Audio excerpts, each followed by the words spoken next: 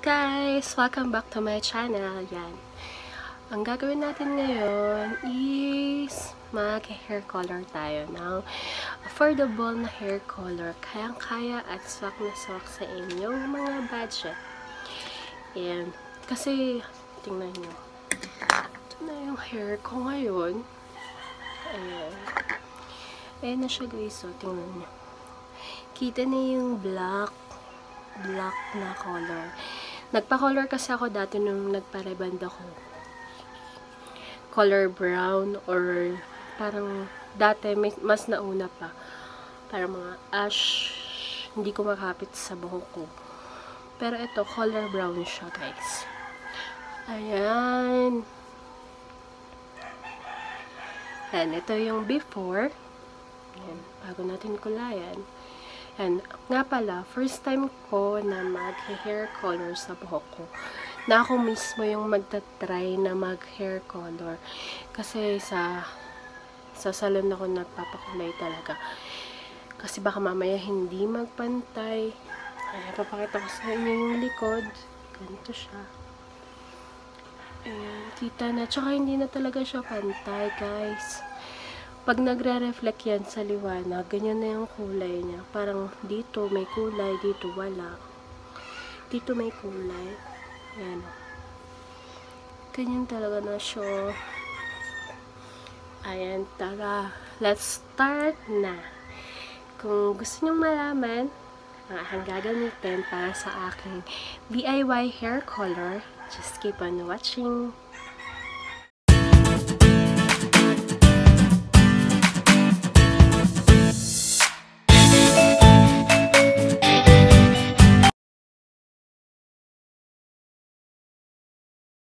And guys, ang gagamitin pala natin na para sa ating DIY hair color ay itong uh, available siya sa Watsons guys. Itong Glamworks na hair dye color. Ayan. Ang kinuha kong color is dark brown. Yan. Pero may mga available shade pa siya. Ito. Meron, meron din siya nitong black ito ginamit ni mama kanina. Nag-color siya. Ayan. Color black. Tapos color dark brown. And ito yung choice ko. Dark brown para lang naging pumantay siya ng konti. Kasi dito nga black na siya. And nagbasa na rin pala ako ng buhok ko guys. Para kumapit yung kulay. Ayan. Pag binakaksan nyo siya, ganito. Wait lang guys. Ayan. Pag bubuksan na natin siya, may sealed siya na ganito. Ayan kung nakikita nyo. Tapos, sa loob, ganito siya guys. Ito yung, ay wait lang, malaglag. Ito yung pinaka-product niya guys. Ayan, Glam Works Permanent Hair Dye Color. Ito yung color niya, dark brown. Tapos, sabi dito, long-lasting color. Ito. Tapos, easy to prepare. Free gloves and instruction inside. Tsaka, colors hair in 20 minutes. Yan. For 20 minutes. Ito yung gloves niya. Yan. Siya guys. Dalawang piraso na yung gloves na kasama niya. Tapos, ito yung product. Then, ito yung packaging niya. Ayan, may nakalagay dito na caution. Tsaka ingredients. Nakalagay din siya dito sa side. Tapos, dito sa taas na hair, hair color guide. Ayan, may hair color guide daw siya. Yan. Yan nakalagay kung pagka dark hair ka ba, tsaka light hair, ano yung magiging uh, kakalabasan ng kulay sa buhok mo. Tapos, itong meron din siya manufacturing date and expiration date yan. Then, nabibili lang talaga siya sa uh, Watson. Na tayo, guys. Kuha lang ako ng gunting. Wait lang, guys ako.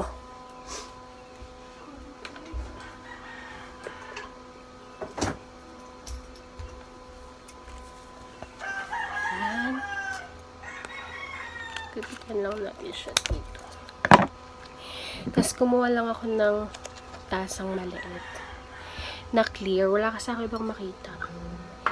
Ilalagay natin siya. Sabi dito, direction niya sa likod. Ayan. Unpack and cut the hair dye color sachet in the corner. Ito. Squeeze it into the glove palm and mix. Kaso, para makita natin yung kulay niya, hindi na natin siya mismo sa gloves pag nag-apply tayo. Lagay ko muna siya dito sa may baso para makita natin. Apply the mixture on every slightly wet hair. Then massage from roots to tip until bubbles comes out. Avoid contact with eyes. Yan. Tapos, keep it on your hair for 20 to 25 minutes. Kung oily hair ka daw, mas maganda na patagalin mo pa sa 20 to 25 minutes. Tapos, spray some water once again and rub your hair to make your bubbles. To make bubbles, rinse it with water. Ayan. Yung one pack daw nito is for ano, short hair. Two or more packs for longer hair. Yung sa akin, dito lang naman gusto kong matakpan, hindi yung buong lahat. Kaya tatry ko lang naman kung effective siya. Wait lang guys. Ito siya. Ayan yung color niya. Nakikita nyo. Salin ko po siya. Dark brown daw siya.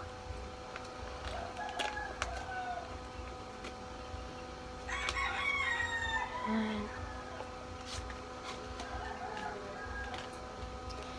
Tapos dito sa packaging niya pala, may directions. Ayan, kung paano gawin. Yun nga yung kanina. Ayan. May picture siya. Then, yun, nasimot ko na pala siya guys. Dun sa pinaka packaging niya. Wala nang laman. Ito na siya.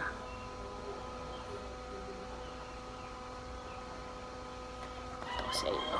Ayan siya oh. Parang may color-color na. Haluin na lang natin. Mag-gloves na tayo. Ito na siya.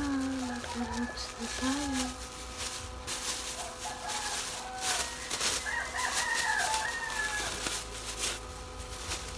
And first time ko itong gagawin sa aking sarili.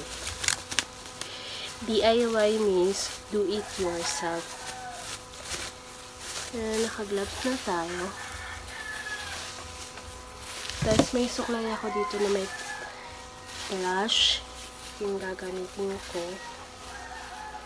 Ah, so, pantay muna natin yung hati ng buhok ko. Ayan.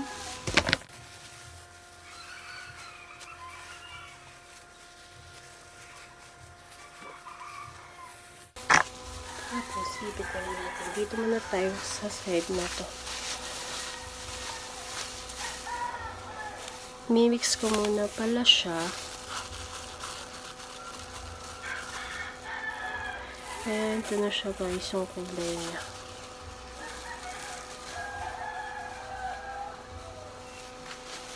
Ayan.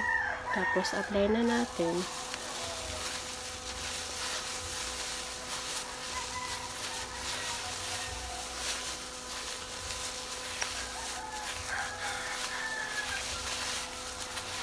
Massage lang natin siya para kumapit yung kulay.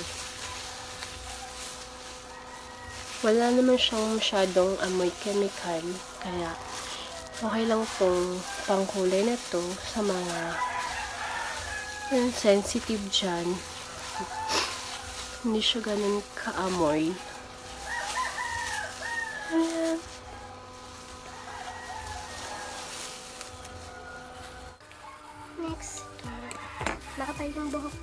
Gusto ko dito lang siya. Try natin siya dito. Ayan. Kung matatakpan siya, yung kulay.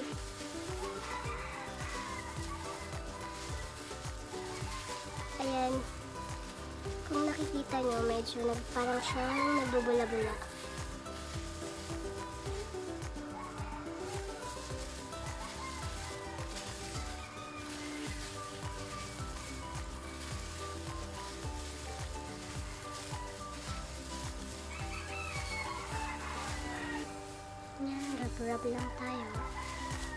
Dito sa may bandang likod.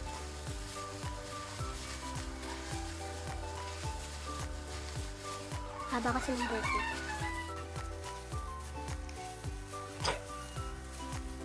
medyo natatakpan niya na yung kanina.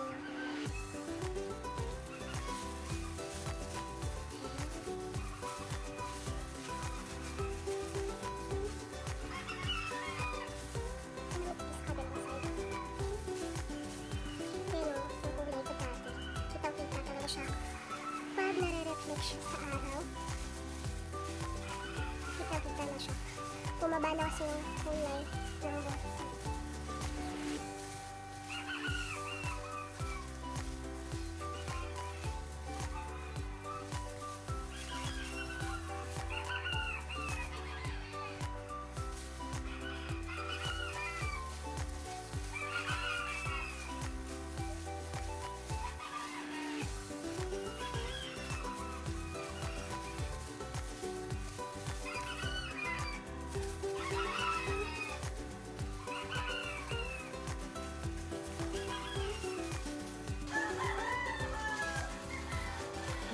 Pwede naman kayong kung gusto nyo na talagang maa-apply lahat sa buhok nyo. Itong pangkulay na to. Pwede naman magpatulong kung may kasama kayo sa bahay. Ganun. Or dati, one time, sa salon, may nagpapagawa rin ng ganito. Tapos, mag-additional na sila. Magpapa-apply sila dun sa may, sa may, ano, sa salon, tao sa salon doon. Tapos, nagpapa, nagbabayad na lang sila. Pero yung gamit na pangkulay is ito. Sasabihin lang nila yun yung gagamitin.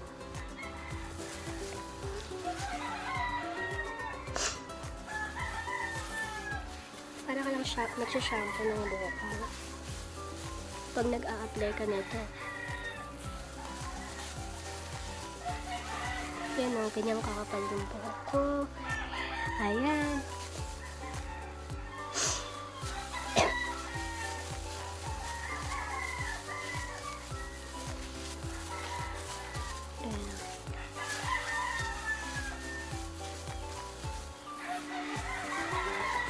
Na-massage lang natin.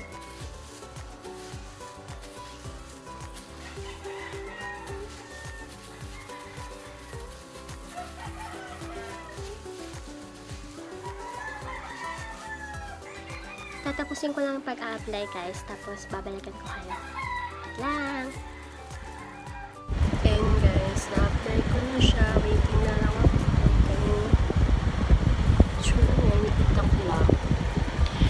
Yan, waiting tayo ng mga 20 to 25 minutes or mga 30 minutes siguro guys para talagang ma-absorb na buhok ko yung kulay.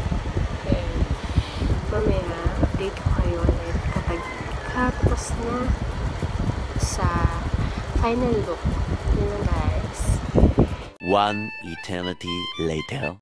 Hi guys, I'm back. Ito na yung finished product niya. Kanina, nagkulay tayo. Tingnan nyo guys, effective siya. Katatapos ko lang din maligo. Naligo na ako nung binalawan ko siya. Ayan na siya guys. Hindi na siya ganun ka-light. Effective. Thumbs up. Yan, thumbs up. Ano, kahit siya, itapat siya sa liwanag, ano, ganun talaga siya. Hindi na siya yung light color. Ayan, oh. Kahit isang sachet lang yung ginamit natin. Kasi sabi doon, di ba, two sachet for long hair. Pero one sachet lang yung ginamit natin. Ayan, effective siya guys. Try nyo. Tingnan nyo yung dito. Kanina, yan, papakita ko yung before tsaka after nitong dito ko. Ditong part. Ngayon, wala na siya, guys. Ito na. Ito na yung aking final look. na siya. Tingnan nyo. Parang black na siya. Tap dark brown lang kasi yung kinuha ko. Ayun na siya, guys. Yun lang guys, kung hindi ka pa nakasubscribe sa aking channel, and just click the subscribe button and the notification bell para like kang notify sa aking mga bagong uploads. Yun lang guys, thank you for watching. Bye-bye!